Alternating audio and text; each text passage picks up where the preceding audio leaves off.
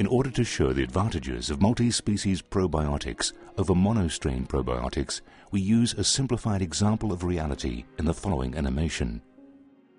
Multi-species probiotics are preparations containing various probiotic strains from different genera and species, where monostrain probiotics contain just one probiotic strain.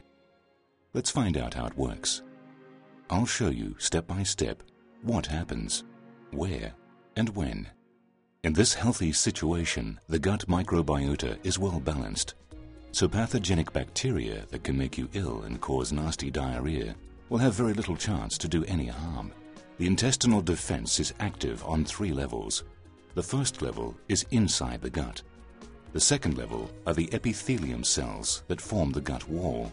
And the third level is the immune system. I will now explain these levels in more detail. In a healthy situation inside the gut, on level 1, we find pathogenic inhibition. Pathogenic bacteria can hardly multiply due to the well-balanced gut microbiota. Also, in a healthy situation on level 2 in the gut wall, the epithelium cells that form the gut wall have effective working tight junctions. These tight junctions prevent bacteria from entering the body. And last but not least, level 3, the immune system. In a healthy situation, healthy microbiota trigger the immune system to produce immunoglobulin A. These immunoglobulins have the power to neutralize pathogens. But, according to Murphy's Law, when something can go wrong, it will do so on three levels. Physical or emotional stress can cause imbalance of the microbiota. In such a worst-case scenario, the intestinal defense system is working insufficiently on all three levels. On level 1, inside the gut, pathogenic inhibition is absent due to the imbalanced microbiota. The pathogenic bacteria cheerfully multiply. On level 2, the pathogenic bacteria travel freely through the junctions of the epithelium cells that form the gut wall, right into your body where they can do a lot of harm. At the same time, on level 3, the immune system is not triggered to produce immunoglobulin A, which means the pathogenic bacteria are not neutralized.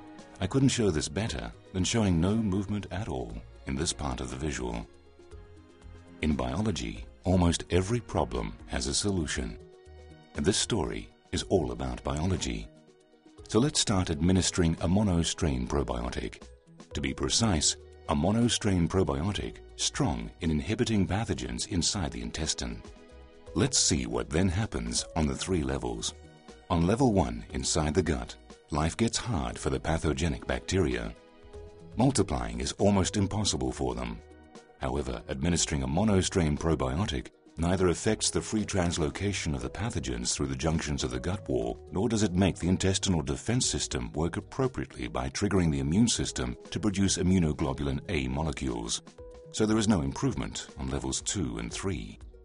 A solution to this problem might be to administer two probiotic strains, one that is strong in inhibiting pathogens inside the intestine and a second one that is strong in enhancing the gut barrier.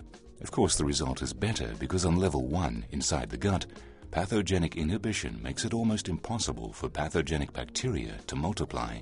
And at the same time, on level 2, the epithelium cells that form the gut wall tighten up the junctions again.